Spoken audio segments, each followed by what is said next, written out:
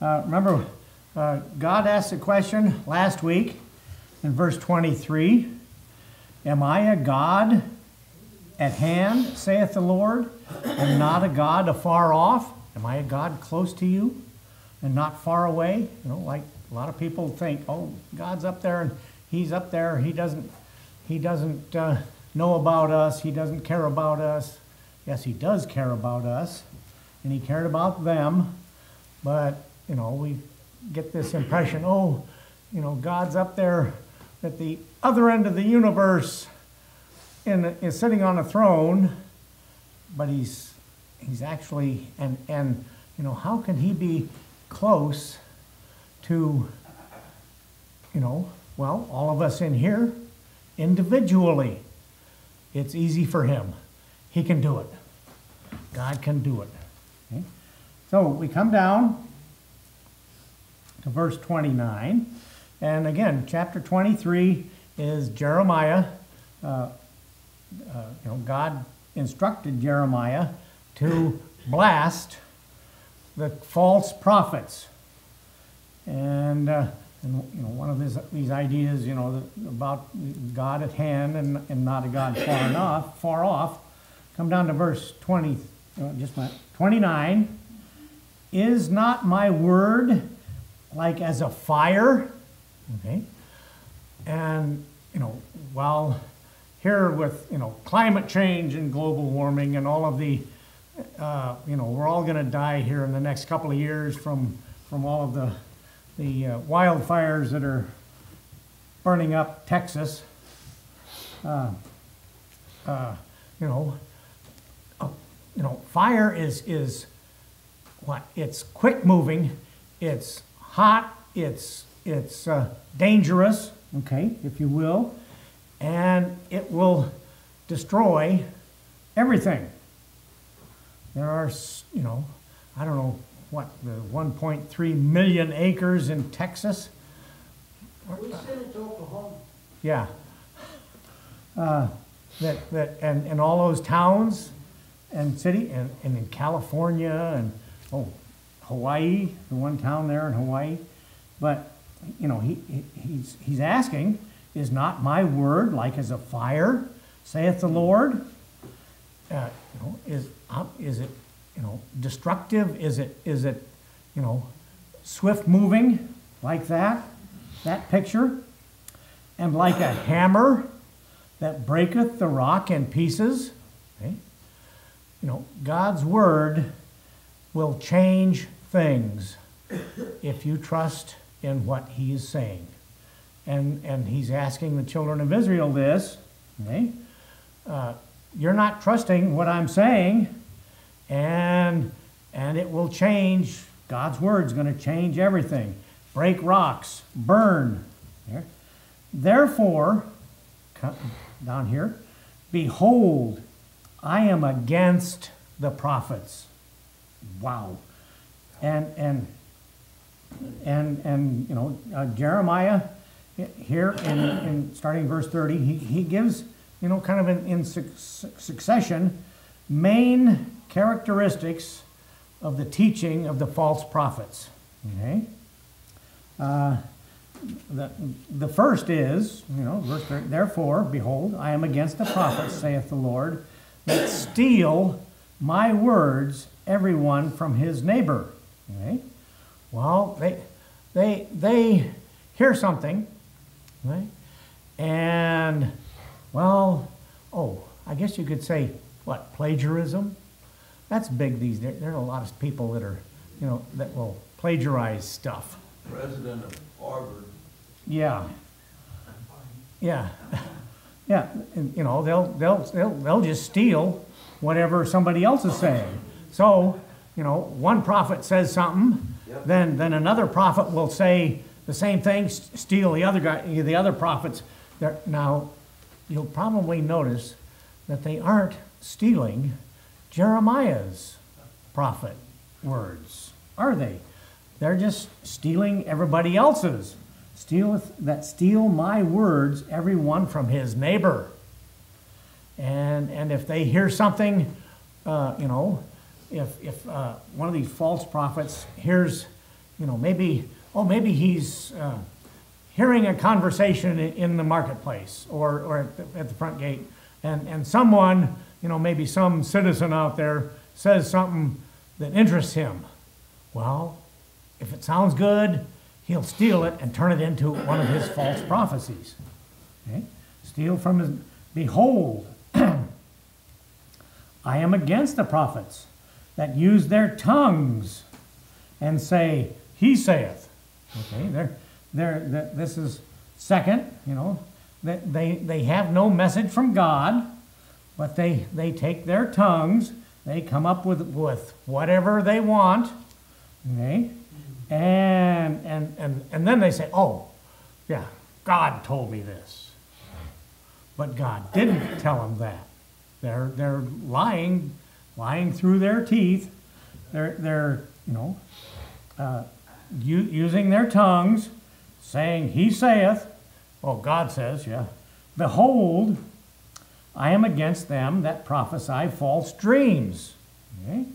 Uh, they're, they're vain, empty talk, prophesying false dreams, saith the Lord, and do tell them and cause my people to err by their lies and by their lightness, their, their vanity, their, their uh, uh, yeah, their uselessness.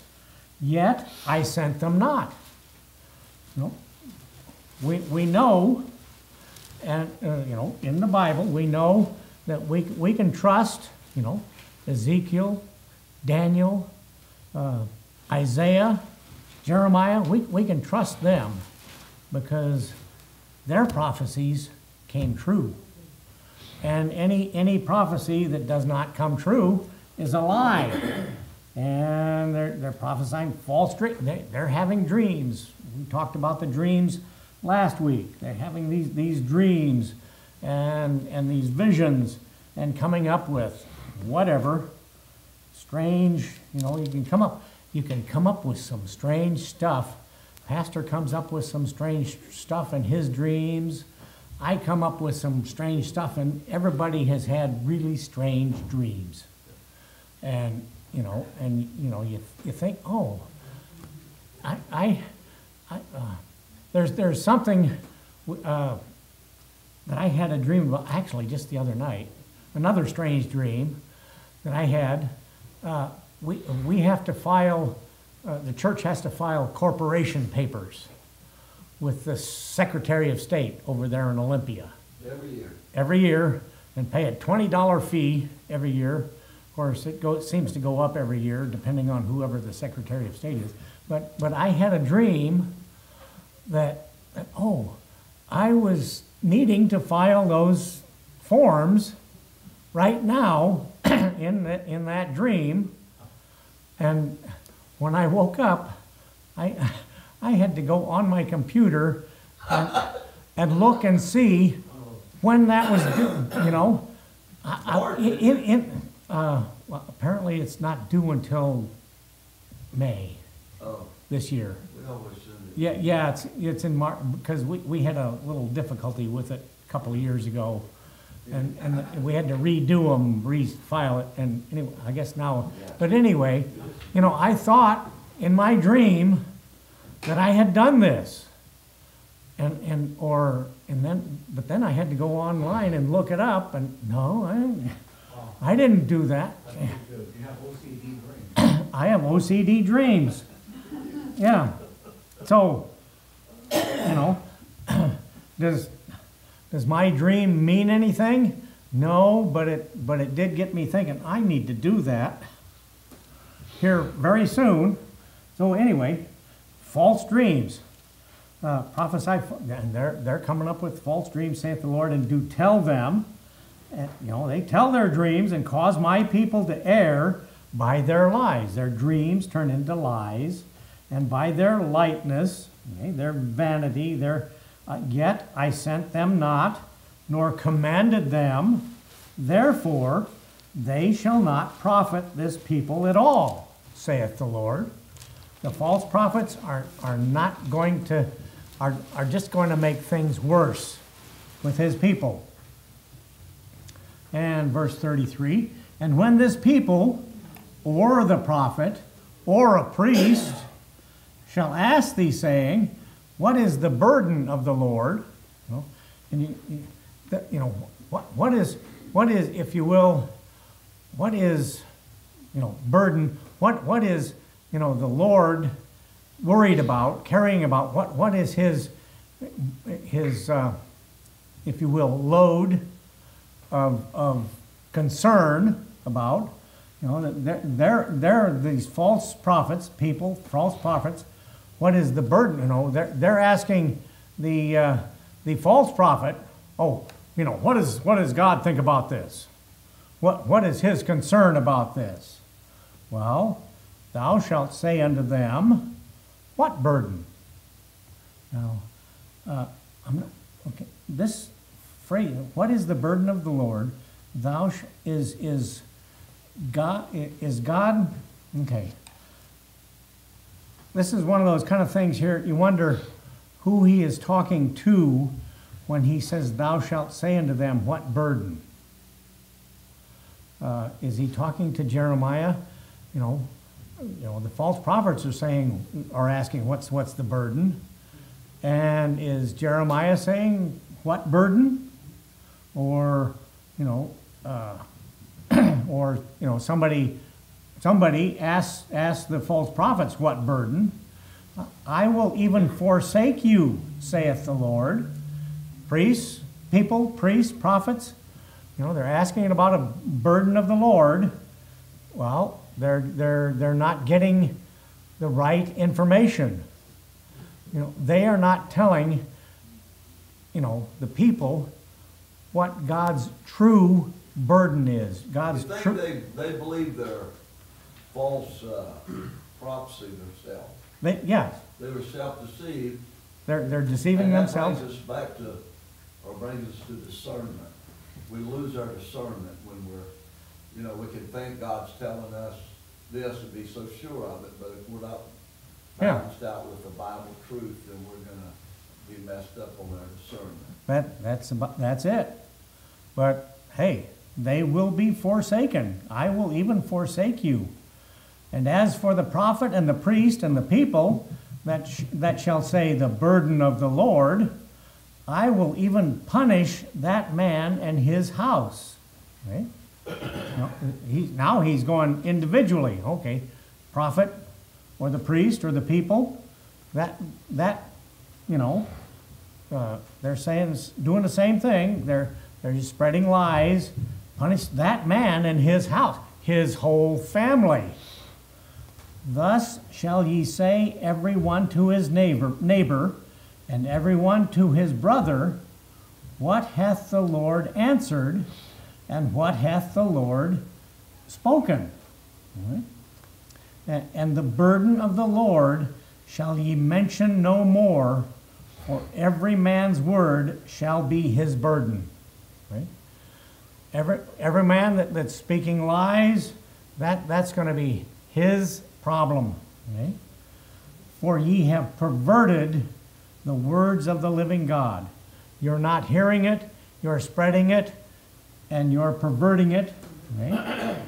And you're the, uh, you know, he's saying to the people and to the priest and to the prophet, well, you're in trouble, they're in trouble, uh, everything's not okay. Uh, perverted the words of, of the Lord of hosts our God. Thus shalt thou say to the prophet, What hath the Lord answered thee? And what hath the Lord spoken? Say, say to those false prophets, you know, what, what, what, what, was, what was God's answer? And what did he, what did he say? But, uh, you know, since they say the burden of the Lord, they're, they're, they're making a, a big to do about the burden of the Lord, but they are not preaching the true burden of the Lord, the true concern of God, and God's concern, his true concern is their idolatry and their sin, okay? And they're, you know, following all these false prophets. Therefore, thus saith the Lord, because ye say this word, the burden of the Lord, and I have sent unto you, saying, Ye shall not say the burden of the Lord. No, don't, you're, you're, you're not concerned about this, you're telling lies. I- you know, I, I didn't say this, I didn't send you. So don't say that. Don't use that phrase. Therefore, behold, I, even I, will utterly forget you, and I will forsake you. Ju- Just think, you know, how would you feel, you know, if, if God completely forgot us? Or, or forced, or forsook us? Yeah, forsook, that, yeah. Forsook us? Forsook, forsaken, what? Yeah, Forsaken for, yeah, I think forsook is, is the right, yeah. Anyway, I, I will, I will forsake you, you know? Now, one thing, probably say, you know, about all of us here, we don't have to worry about that. God will not forsake us. God will not forget us. Okay? God will not uh, punish us. Okay? We aren't going to end up in hell for our sins. Okay? Because we have not trusted Him as our Savior. Okay? And, and you know, and let's see, and, uh, and I will forsake you, and the city that I gave you and your fathers uh, forsake you and the city. Remember, Jerusalem will be completely, totally destroyed when Nebuchadnezzar moves in. Okay? And cast you out of my presence. And out of my out of his presence, captivity for 70 years. Okay? And they, they'll have 70 years to think about what they, you know, any surviving of those false prophets, they'll have 70 years of slavery to think about what they have done and the lies that they have told. And if they don't repent, okay, they're in big, deep trouble. Okay? Cast you out of my presence, and I will bring an everlasting reproach upon you. Now, think about it. Everlasting reproach. Okay, how many centuries has it been since uh, since the 70 years of captivity? And we're still thinking about it. There's an everlasting reproach on those false prophets, on the, the, the people who believed the false prophets and didn't trust him, and a perpetual shame, okay, which shall not be forgotten. We are reminded every time, you know, when, whenever we read the Bible and, and hear about the captivity, it is not forgotten. What, what they did is not forgotten. And wow, managed to get through a whole bunch of chapter uh, verses, and we finished the chapter.